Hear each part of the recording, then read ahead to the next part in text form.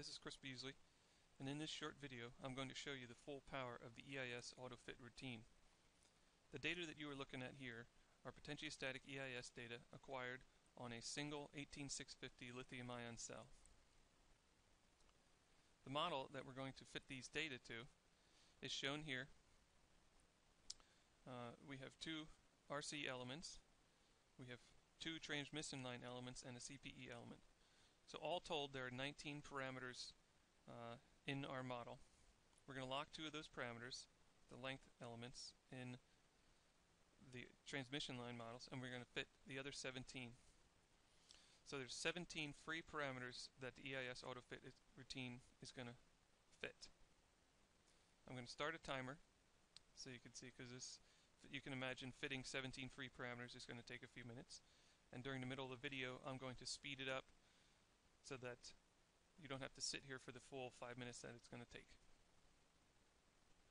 Okay, I click on impedance, click on fit a model, choose my lithium ion model. I'm going to lock the two L parameters, and I'm going to click on auto fit. So you can see we started at roughly 27 seconds.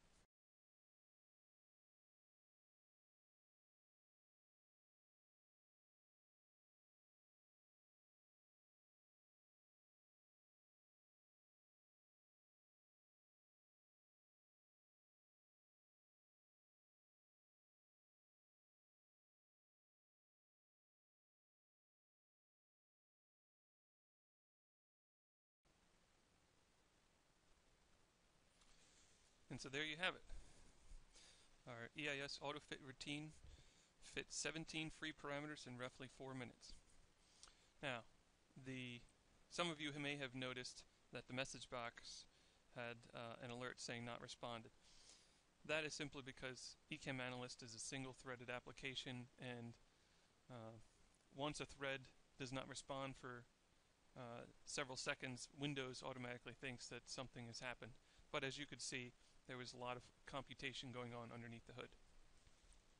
So, I hope you were able to see the true power of the EIS AutoFit routine. Thank you for your time.